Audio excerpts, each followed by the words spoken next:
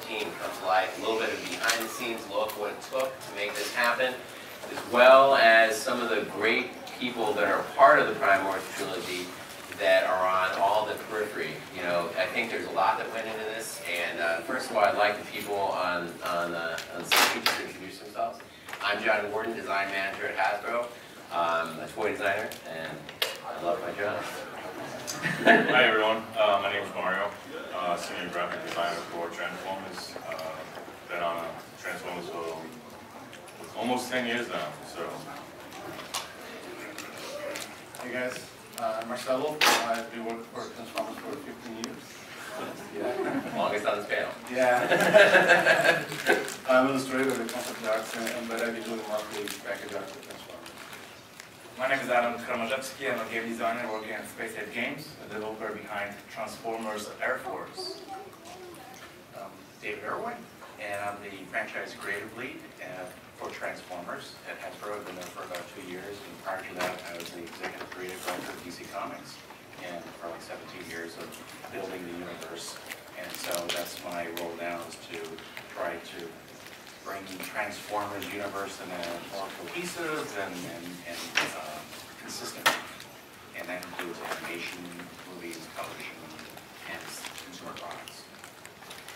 So as you guys know, we're all inspired by what's come to be known over the past few years as G1, Generation 1. Generation 1 uh, was an energetic and wonderful time where uh, cartoons, comic books, and toys that we love came to life in an incredibly magical way. Our challenge on Combiner Wars, and starting with a with, uh, with the Wars trilogy idea was how do we bring to life these toys in a way that captures the imagination of that went into the toys in the first place, paying tribute to them, but bringing them to life in a way that maybe would kind of bring on board some new fans. I see lots of new fans in the audience today, and that makes me really excited. So uh, I'd like to kind of share with you the idea that all the different pieces of the puzzle that went into Prime Wars trilogy that I think really are getting people excited about it today, and it's making it a big success. So till all are one. We've got the toy line, which obviously is the it's the bread and butter. It's a lot of fun, but it can't do everything. You've also got digital gaming. In the Earth Wars game, we know a lot of fans out there are really, really loving this, and, and it's just it's a lot of fun to be part of uh, part of that as well. Last but not least, we've got animation. So, so many things go into this, the storytelling uh, that comes from our great copywriters, the awesome branding that comes from Mario and, and, the other awesome artists on the branding team, and the incredible illustrations that come with, from talented guys like, like Marcelo here on stage. So let's walk through some of the, the pieces of the puzzle that you guys maybe have never seen before. It all starts uh, with Combiner Wars. Combiner Wars uh, began, honestly, as not a trilogy. it, was, it was a bunch of us kind of talking about, uh, I, at, at, the time I was working with uh, with Mark, and Mark, Mark was talking about how he would like to bring to life the, the aerial bots and a bunch of other transformers in a way. And he had, a, had an idea of how to, to make his SKUs work. Um, so we started working with Takara Tomy and um, kind of laid out a vision for this thing. So this is a piece of never before seen art um, that we actually had commissioned. This is something that, that we do internally before we get fans excited, we actually have to get ourselves excited, if that makes sense. So I have to kind of sell my senior management team and say, this is going to be really fun. Check it out. And so I, we had this awesome uh, battle scene kind of depicted. We, we never went in the direction of having a giant having them battle an arena above a black hole, but you know, I thought it was But what's interesting is you do see Alpha Trion on there, like kind of the arbiter and you know, quintessence and stuff like that. My vision was to have it be an ultimate showdown of Transformers. Um, but that showdown would never have happened if it wasn't for the talented minds of Takara Tomy. We're actually privileged in the audience right now to have one of the original creators of Transformers uh, the micro change line, Mr. Yoke-san. Everyone.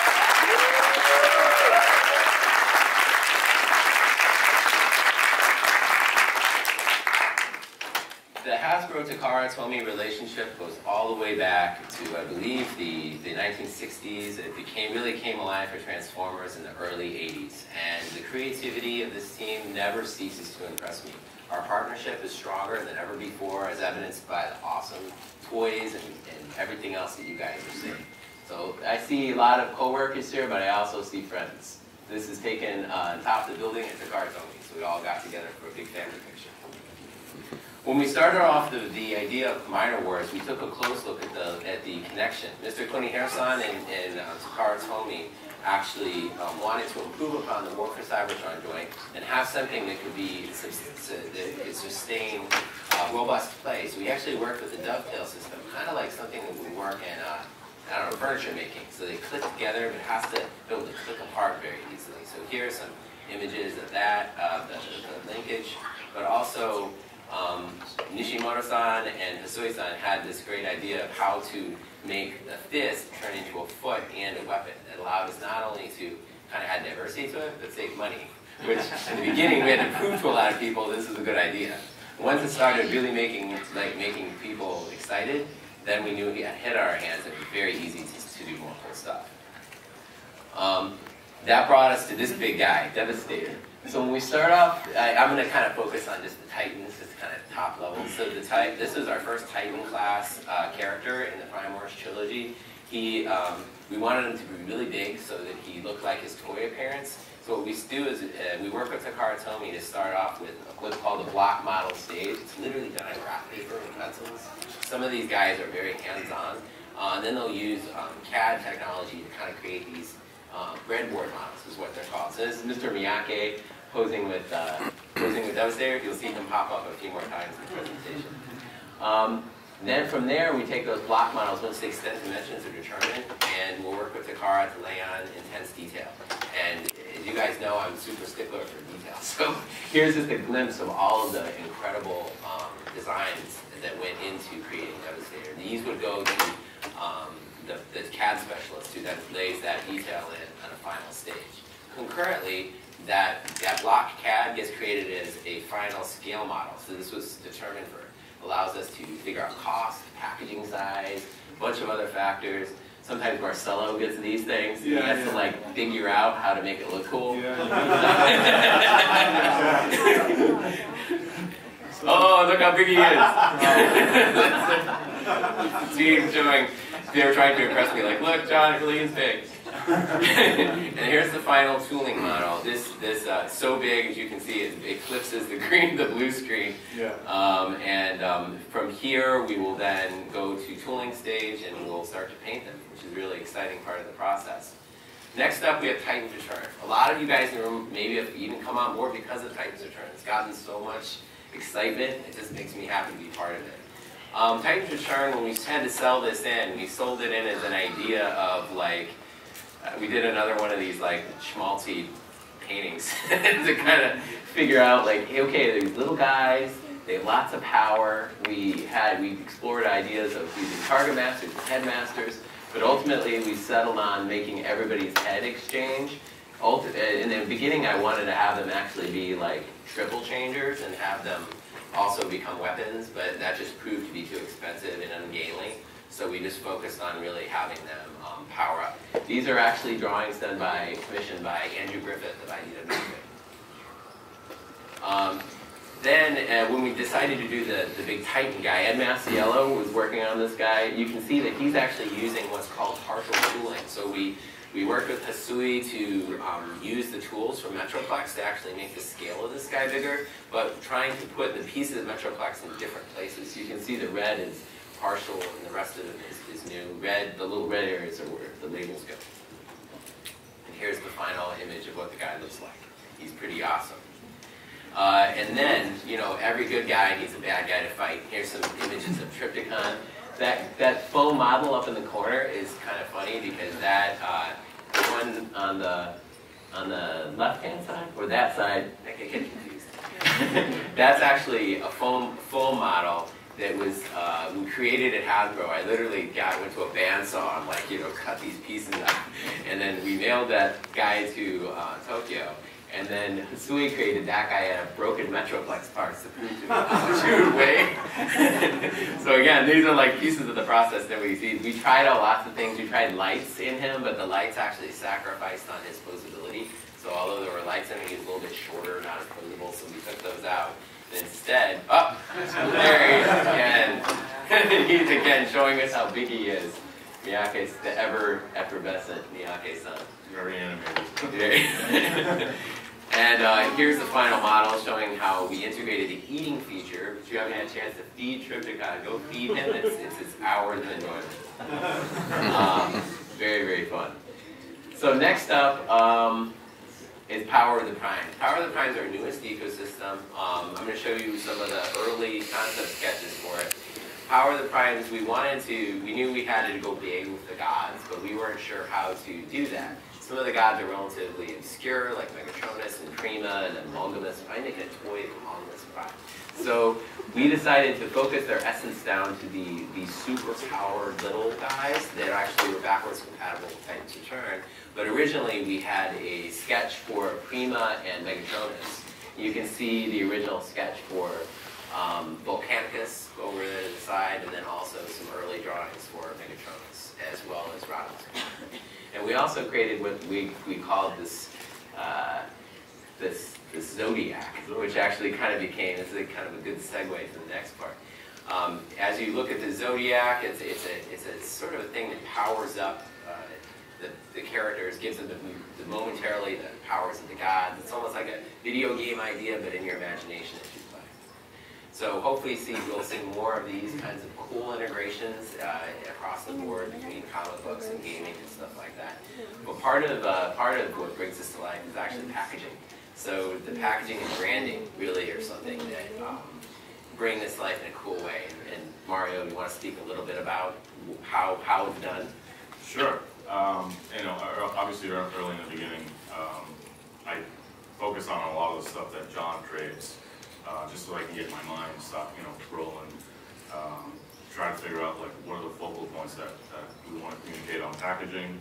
Um, you know, because there's always, there's always so much that's in there, um, but we can only communicate so much on packaging.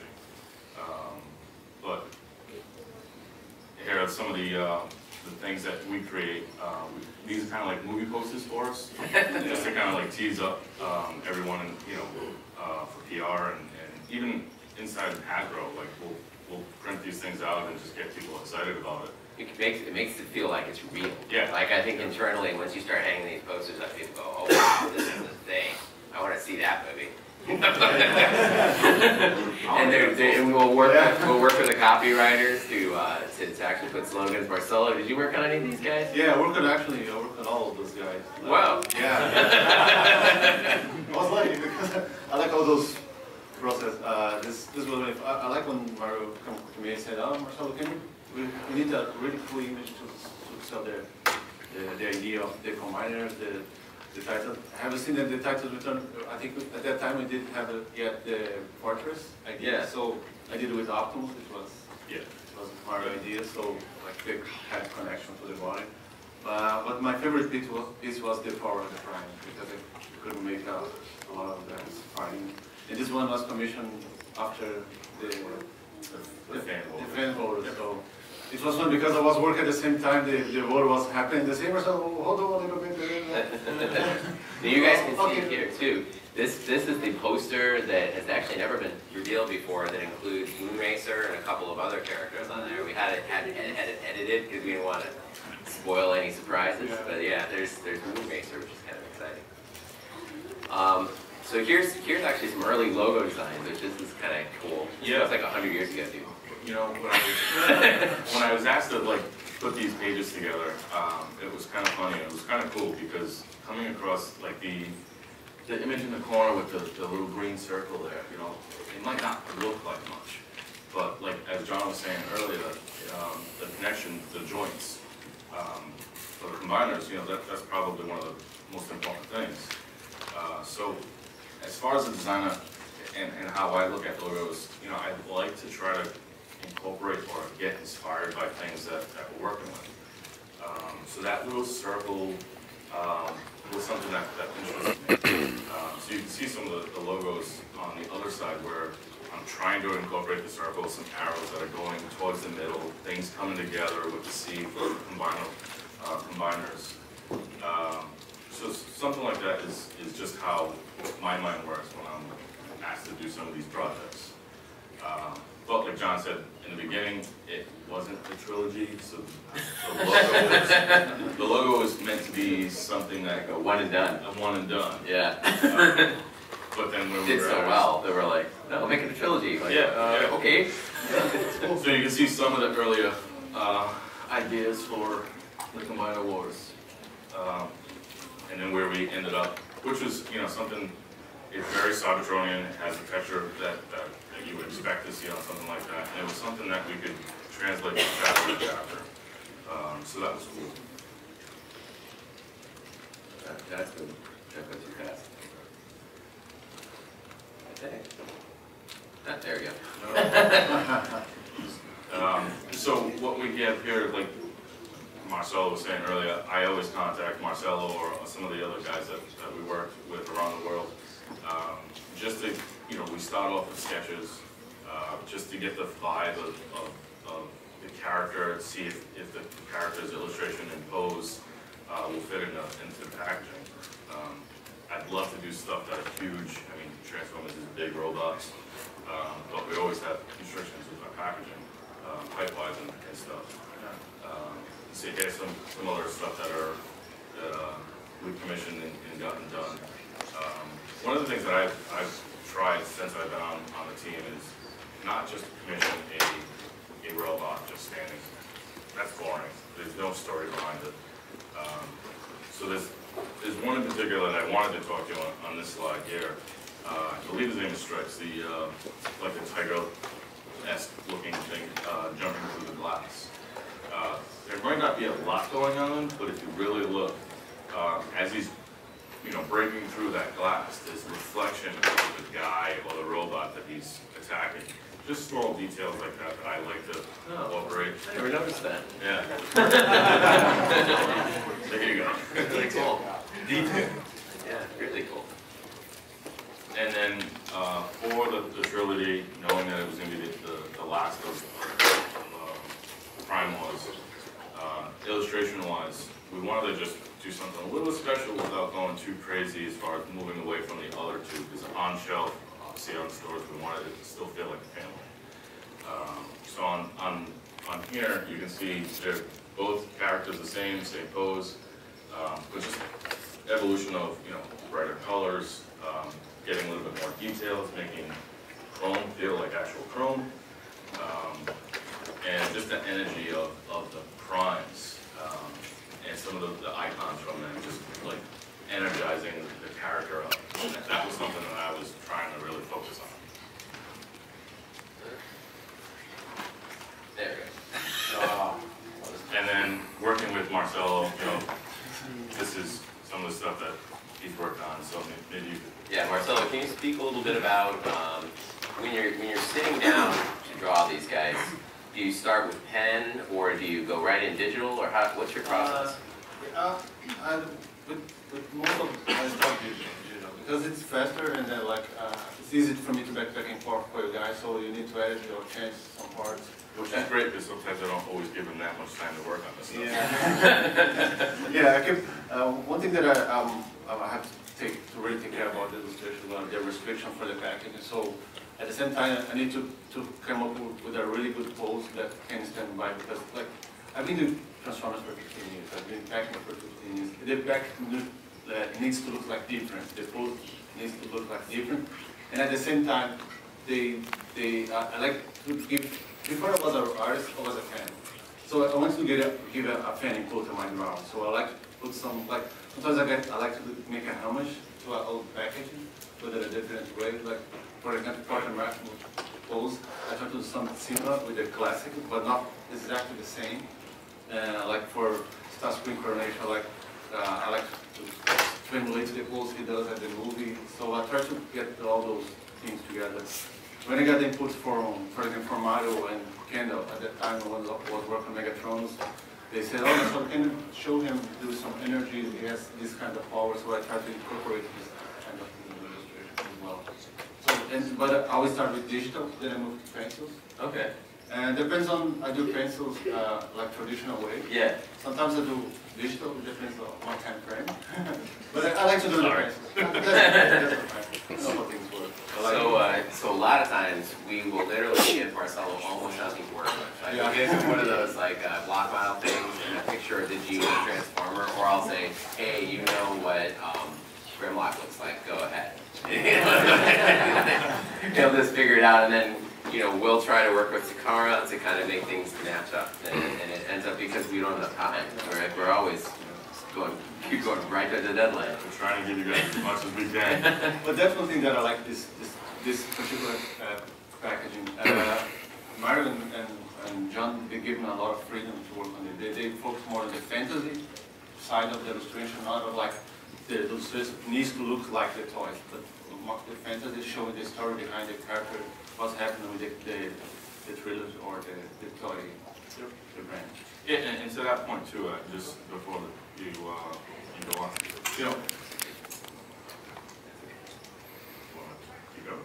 Yeah, go ahead, make, make your point. Just the, uh, just to make the, the, the point that I was gonna make is, you know, I know that sometimes there, there are limitations and costs on, on toys and trying to get them as, as cool as possible. But from my point of view, it's like, you guys are, you know, you're looking at the toy packaging and, and you're like, oh, who's that guy? And I don't want that limitation to ever be there, so I'm trying to give you guys as much as I can. From like, history wise, you know, I mean, I, I try to get it all in there. Yeah, so there was a slide in here, but uh, I can speak to what it was. There, the, uh, it was the, it was the idea of evol- evolution of packaging. So when you see, um, a great logo isn't always the same all the way through. So in the beginning of the Prime Wars trilogy, the Prime Wars packaging looked one way, Type Turn looked a little bit different. And then the last one, stop by the booth and check out the, the uh, Power of the Primes, talk to Mario. Uh, we're here to, to talk to you guys, and it's exciting to see that journey that the, that the packaging has taken. Speaking of journeys, the next on that journey is uh, my friend Adam, the space ape. We had an opportunity to talk, and uh, and it's exciting to really understand um, what goes into a game. Um, we've been lucky, you know, because of the digital world, we're able to use the CAD data that I'm working on with toys, and it kind of gives them a great like starting point for them as they start to build models. Uh, Adam, uh, do you want to give us a little bit of a preview as to how things are going from these slides? Adam? Yeah, absolutely. Uh, wow. I'm like Tapper, like that means video. I'm not sure if it's starting the video. It might be. Oh. Yeah, I think the first video. Uh, wait, no, it, it, yeah. Right. So this is actually Volcanicus being modeled and animated uh, in one of our uh, software packages. And you can see actually getting all the mods to move and combine, especially for Volcanicus, because when we implemented some of the bots into the game, we never expected Dinobots to combine. So getting all of that, like moving all the bones so that they actually fit and can animate, uh, was a huge challenge for our artists. Uh, but I think I'll show it in game in a moment. Uh, I think they pulled it off, so it's quite a complex process. Uh, right, next up. Uh, hold on, sorry about that. Uh, I, that's the next one. Uh, so actually, uh, the really, really good thing when it comes to marketing our game and then putting these things together is we don't do any you know, fake CGI. We don't create two versions of the models. We actually use the same models we create for the game, and that's a mobile game. We use the same models uh, in there to actually create our uh, key arts and, and marketing um, packages and screenshots. So this is actually our game world, and this is Predaking being posed uh, for, for a marketing shot that will later turn into like a cover for the game. And actually, the models you could have seen in our booth, uh, the Transformers our booth on the, on the floor, um, yeah, these are all models from the game just being posed and, and with some maybe light or, or special like frame added um, in, in, in software. So that's pretty good. And next slide. Yeah, and that's a finished product. That's our um, key art for That's Canvas and Predator, yeah. uh, which is just jaw-dropping. And with these, with these uh, combiners, um, the, the story behind that is quite interesting because we knew we wanted to add more combiners to the game. We launched the first one, Devastator and Superion, uh, back in October. Uh, but with, uh, with the Dinobot combiner, this is something that we initially thought, you know, we want Predaking, but what if we had a Dinobot combined? What if we could pitch this to Hasbro? This is a crazy idea. They'll, never approve this. But there's so many fan-made ones.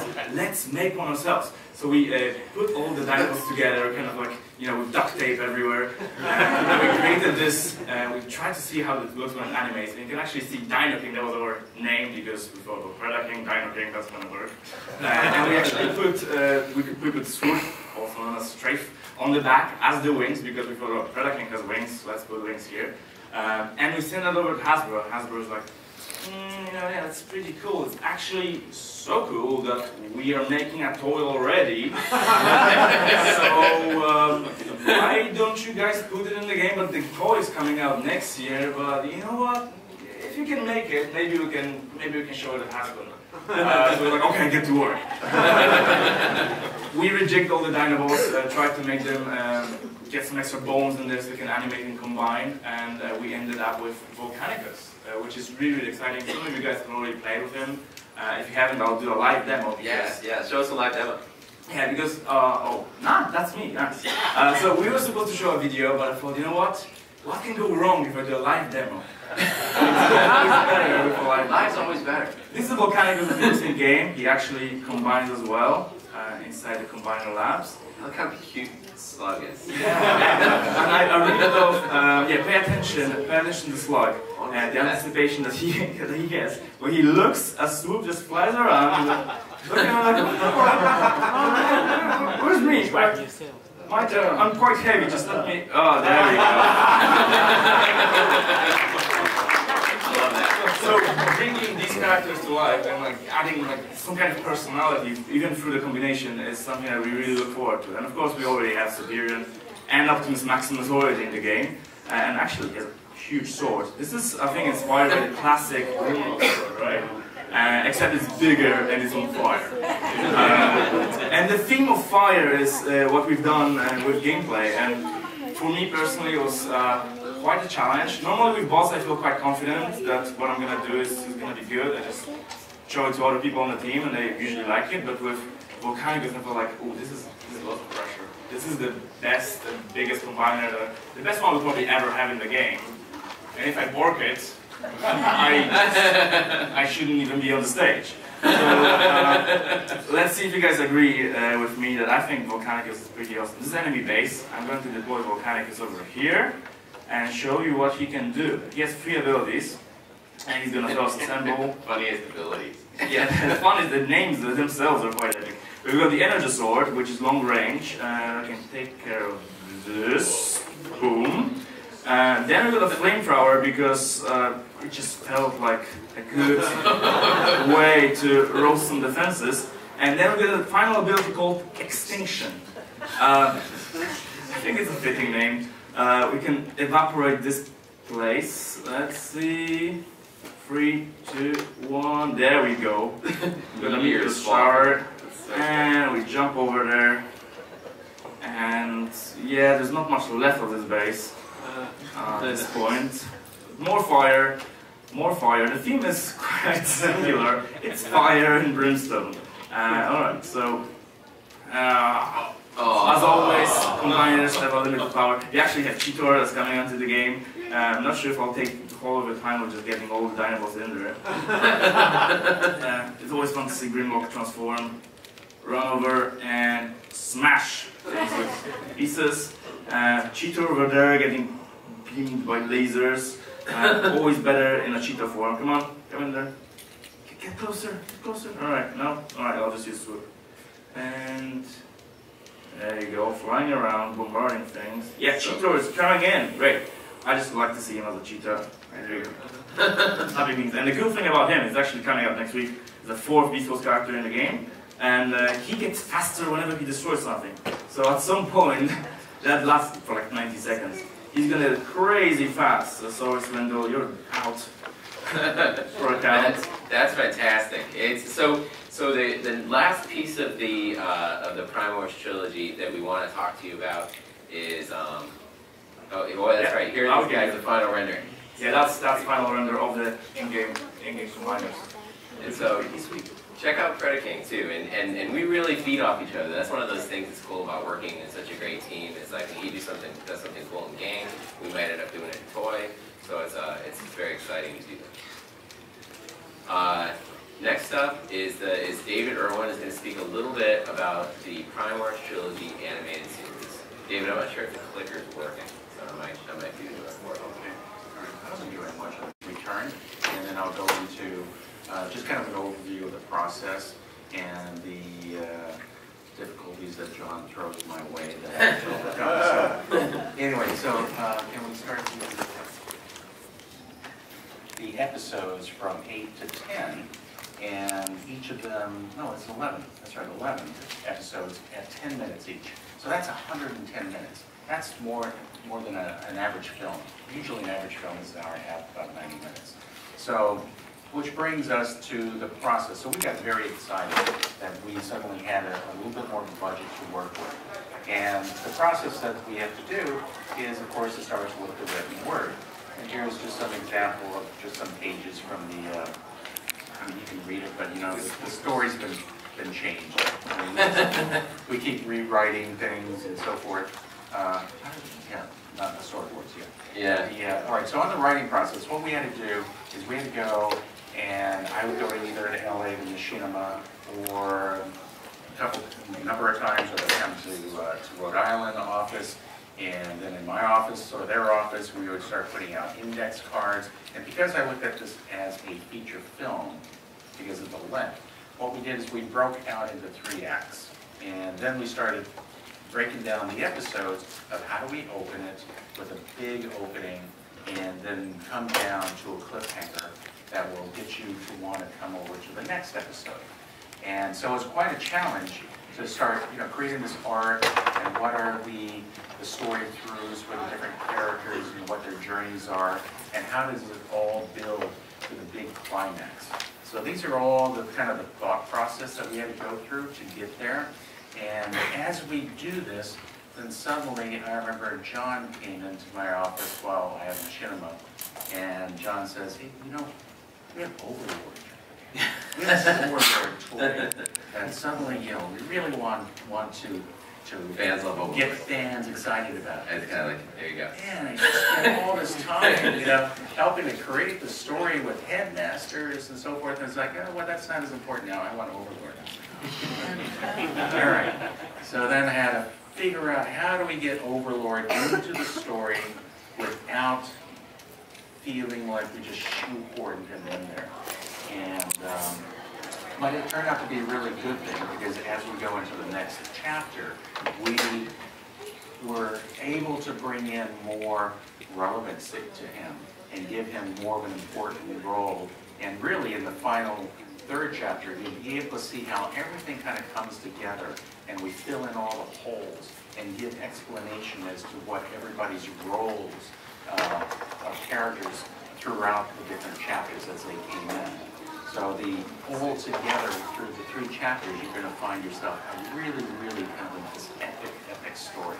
What's really cool, we had a chance to work with great artists like Guido Guidi and Andrew Griffith, uh, people who are big fans and, and are into the franchise. Yeah, so what we had to do is go, we had to create these, uh, first we started with these, these character designs, and we did these turns, and is there a, cat?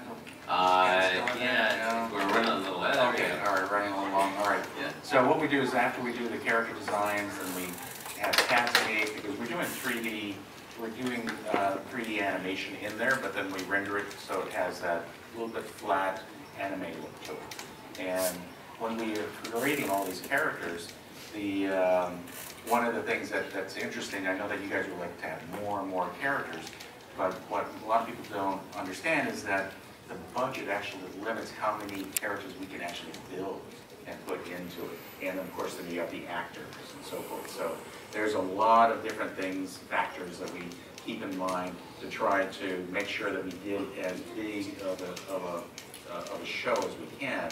And this truly does feel very epic and big. It's also, these, these, these are some, these Yeah, are these are some, uh, from, from Titans Return. You can see, you know, two villains standing side by side. It's- I think there's Yeah, because what happened is, well, and, not and again, villains. yeah, and Machinima's Arch very, enemies. yeah, very good about, uh, Machinima's very good about the, uh, listening to fans. And on the first chapter, fans love Megatron, and they love the fact that those two were, had to kind of reluctantly team up. And we listened to that, so, and Machinima certainly did, so we made sure that Megatron has a really strong presence, and we do have some great banter between them. And these are all, for the first time, nobody has seen these before, but these are actual screenshots of the new animated series. So you're seeing it for the first time here. You can see this, the idea of Windblade as a city speaker comes Right, life and the as well. scale. Really cool, the scale's really cool. And then, you guys know this. Yeah, so we just treated, we thought of them as almost like Godzilla, we wanted destruction. I kept talking to Dave, it's like, are there small buildings? Can the small buildings be destroyed? Are there bridges that can get wrecked?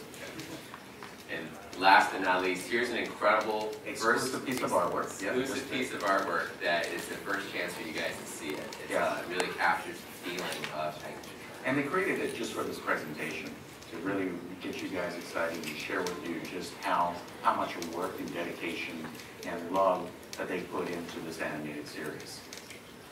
Uh, David, when can we uh, expect to see Titan's Return? Well, as you saw in the trailer, it's gonna be in November, and then it's gonna be twice a week, and it's gonna be on Go 90. It's where it all comes out. So thank you, everybody. That was the Prime Wars Trilogy panel. I think we may have a couple of minutes for uh, Q&A. No?